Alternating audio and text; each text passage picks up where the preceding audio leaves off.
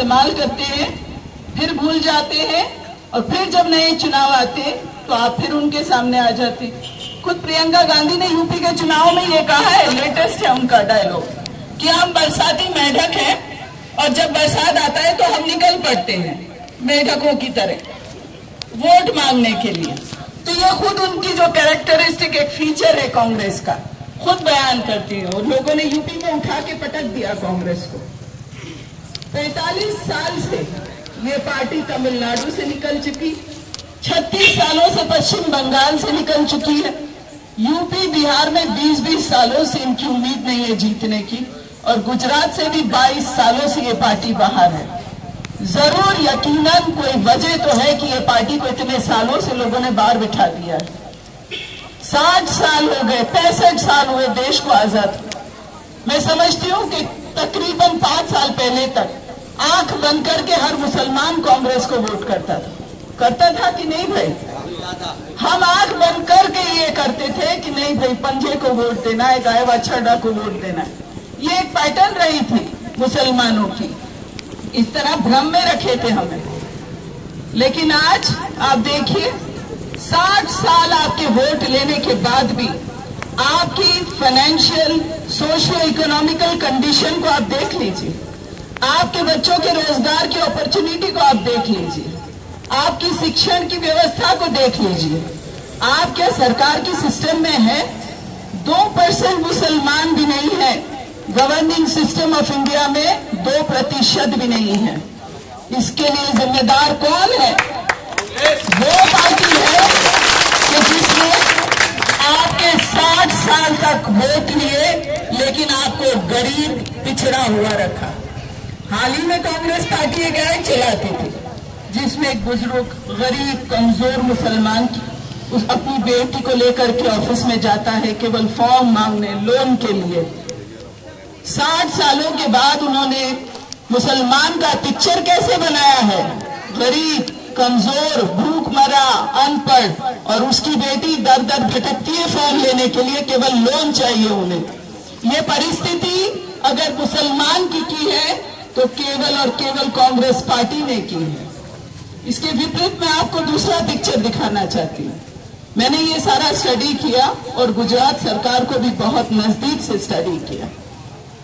जो स्कीम्स केंद्र बनाती है, वो हर स्कीम जाति, पाति, धर्म के आधार पर बनाती है। मुसलमानों के लिए ये स्कीम आदिवासियों के लिए ये स्कीम ओबीसी के लिए ये स्कीम वो जाति आधारित स्कीम बनाती है और जब वो स्कीमें गलती से आपके गाँव तक पहुँची भी अव्वल तो वो पहुँचती नहीं है उनकी स्कीमें राहुल गांधी खुद कहते हैं कि अगर हम एक रुपया निकालते हैं केंद्र से मदद का तो पंद्रह पैसे से भी कम पैसा गरीब तक पहुँचता है। ये उनका स्टेटमेंट है ऑन रिकॉर्ड उन्होंने कहा है कि हम इस कदर नाकाम हैं। अव्वल अगर वो स्कीम पहुँची भी आपको तो एक ही मोहल्ले में बच्चे और जवान ये चर्चा करेंगे कि भाई, ये स्कीम तो मेरे लिए है। मुसलमान बच्चा होगा तो वो कहेगा कि यार, मैं तो मुसलमान हूँ, इसलिए मैं ओबीसी की स्कीम में नहीं आ सकता। शेड्यूल कास्ट होगा, वो कहेगा, यार, मेरे लिए तो अलग किस्म की स्कीम है। तो ये बांटने वाली राजनीति और स्कीम बनाते, योजनाएँ बनाते, जबकि नरेंद्र मोदी जी का मैंने सीखा और देखा। कि वो पूरे इलाके के हिसाब से स्कीम बनाते हैं। अगर आप दरिया किनारे रहते हैं तो सागर खेड़ू योजना है। तमाम 1600 किलोमीटर 16000 किलोमीटर की जो भी हमारी बॉर्डर है, सबके लिए एक स्कीम है।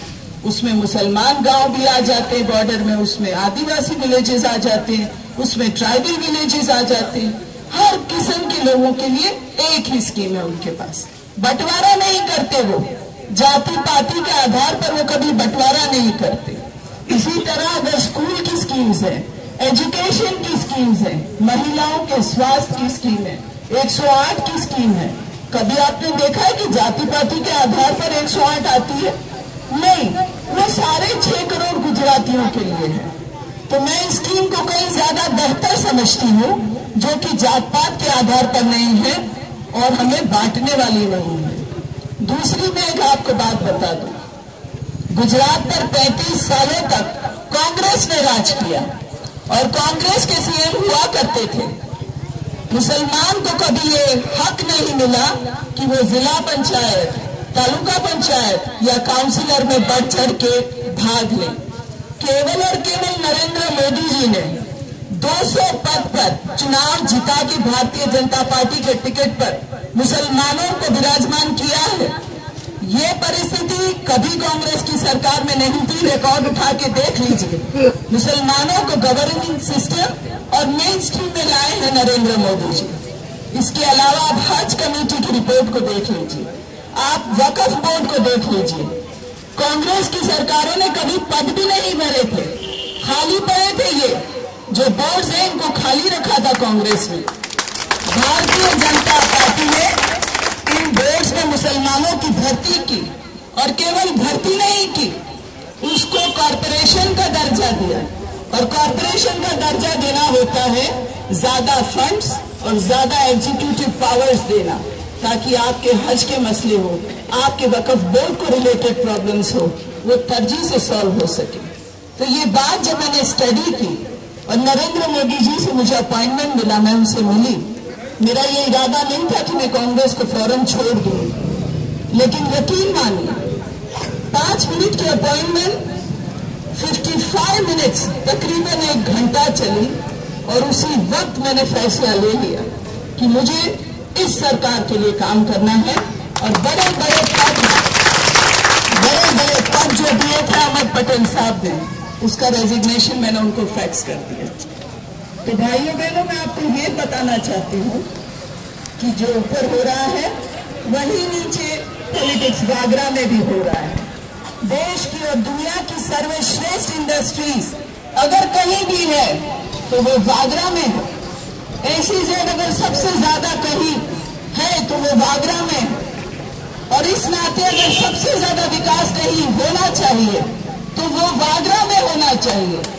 सबसे ज़्यादा एम्प्लॉयमेंट अगर किसी को मिलना चाहिए, सबसे जवान ये नौजवानों को रोज़गार मिलना जो चाहिए, वो वागरा के नौजवानों को मिलना चाहिए। लेकिन पिक्चर ऐसा नहीं है, आप और मैं भी जानते हैं।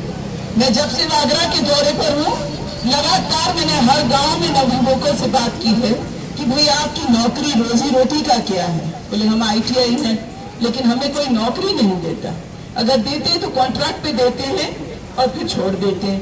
अगर कहीं गए तो बोले एक्सपीरियंस लाओ। अगर हम काम नहीं करेंगे तो हमारे पास एक्सपीरियंस कहाँ से होगा?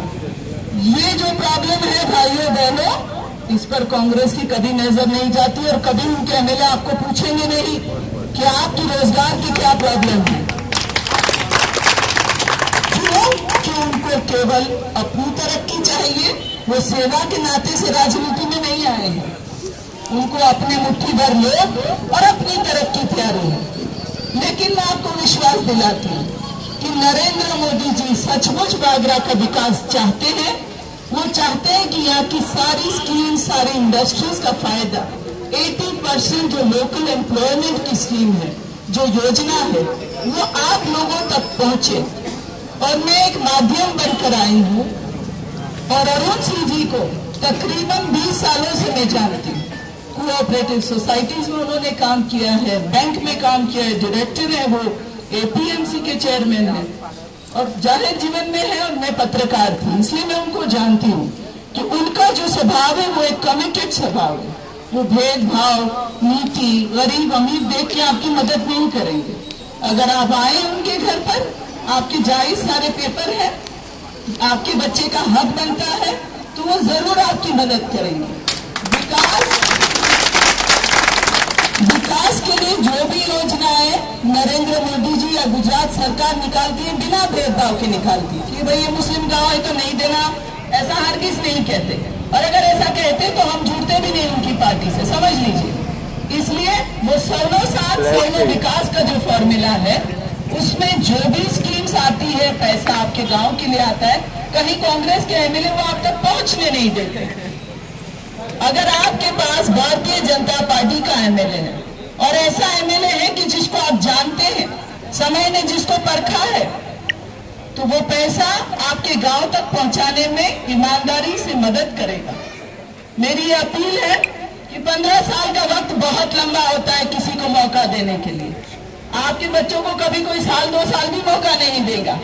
लेकिन आपने तो उनको पंद्रह साल का मौका दिया राजनीति करने के लिए। अब वक्त आ चुका है कि उनको इस गाँव से और इस घाघरा कॉन्स्टिट्यूंसी से बाहर निकाल दीजिए। एक मौका दीजिए भारतीय जनता पार्टी और आज इस मंच पर अगर मैं मौजूद हूँ तो मैं अपनी भी ज़िम्मेदारी समझती हूँ कि अगर नौजवानों को रोजगारी में कहीं मैं मदद कर पाई तो मुझे भी खुशी होगी खुदा को मर के मुँह दिखाना है तो एक दो बातें कह सकूँगी कि भाई मैंने नेकी के काम किए हैं दुनिया में। इसलिए मैं भी पूरी ईमानदारी से आप लोगों के साथ रहूँगी। मैं ज़्यादा वक्त नहीं लूँगी, क्योंकि बड़े बड़े नेता बैठे हैं। शहादत अली साहब को मैं सुनना बहुत पसंद करती हूँ, अरुण सिंह जी है मनहर जी है। इनशाला आती रहूँगी और आप लोगों से बातचीत करती रहूँगी। आज के लिए बस शायद इतना ही काफ़ी है। वालेकुम अस्सलाम। ओके शहादत साहब